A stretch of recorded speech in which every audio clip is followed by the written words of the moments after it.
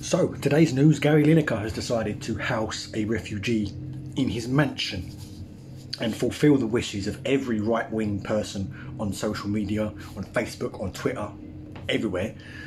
Because every time you mention refugees, every time a left wing person or any anything slightly sympathetic towards refugees and migrants is said on social media, the right wing people seem to pop up and say, Well, why don't you house those refugees then? If you want them here so badly, why don't you put them in your house? Well, Gary Lineker is literally doing exactly that. And now the comments have changed to why doesn't he house our, house our homeless? Why does he house our homeless veterans? Hmm. Seems your attitude's changed. You seem to have wanted us left wing people to house refugees in our homes. Bear in mind that a lot of us haven't got the space for more people in our homes. A lot of us don't live. We don't all live in million pound mansions like Gary Lineker. We don't all have millions in the bank. A lot of us are working class people. Gary Lineker has literally done exactly that. He's gone and housed a refugee. You should be ecstatic. You should be the thing you've been calling for for years on social media. It's happening, and now you just want to change the subject and be like, "Well, don't you house our homeless? Don't you house our veterans? Why don't you house our homeless and our veterans?" You cry about it so much. Every time there's a there's a slight change, a slight rise in, in foreign aid, or our government does something that might slightly benefit a migrant or a refugee, gives them 37.75 a week, which by the way is a five a day. Um, you cry about it and you say, What about our homeless? What about our refugees? You, you always go on about our homeless and our veterans and our people, which is fine. But here's a, here's, here's a crazy thought for you because we are, as much as you won't admit it, the left are fighting for those people as well. We do want to help those people as well. No left wing person has ever said we want to help migrants and refugees over the homeless and the veterans that were born in this country. We want to help them all.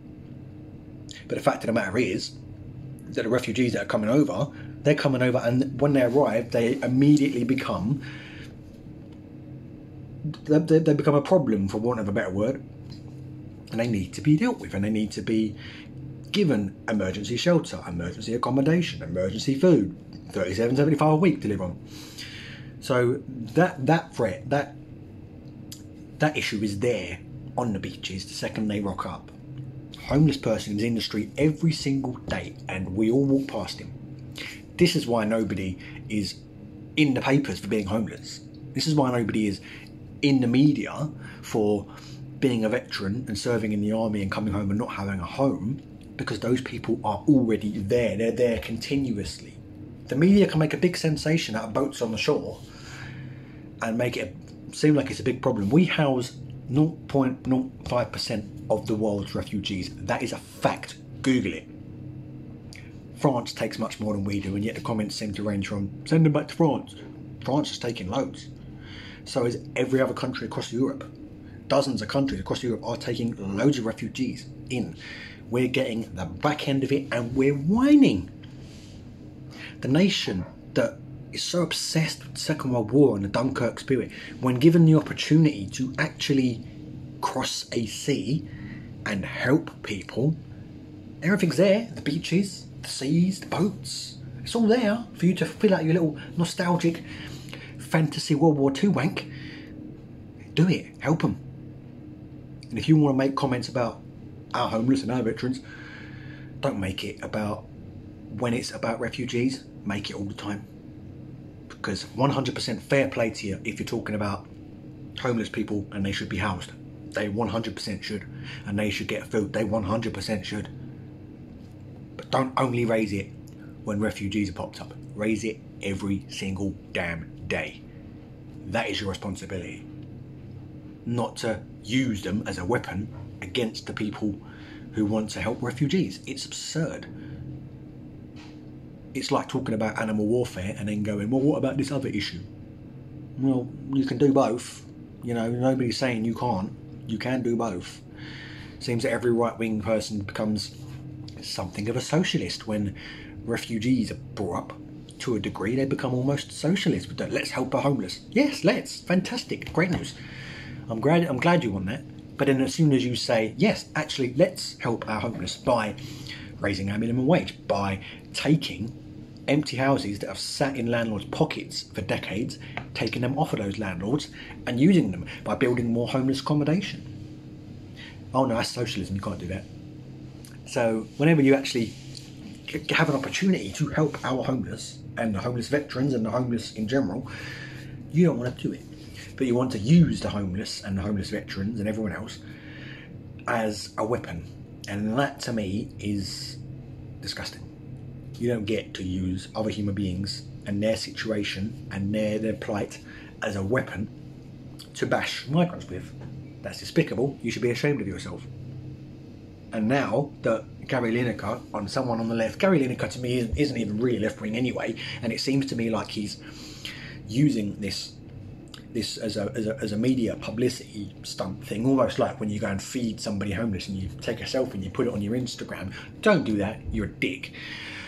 That's what it seems to be like with Gary Lineker. He seems to be doing it for, for effect. He seems to be to be more of a liberal who wants to be seen as somebody who wants to help the homeless and wants to help refugees and help migrants.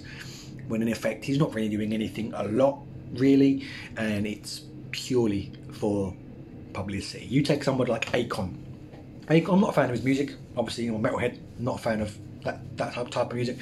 Akon is literally changing lives in Africa by bringing solar power, by bringing water filtration. Load, just go and Google what Akon is doing in Africa.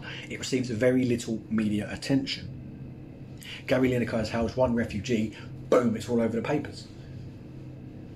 And this is where the distinction needs to be, to be, to be made between left-wing people and liberals. Keir Starmer is a liberal. He's not a left wing.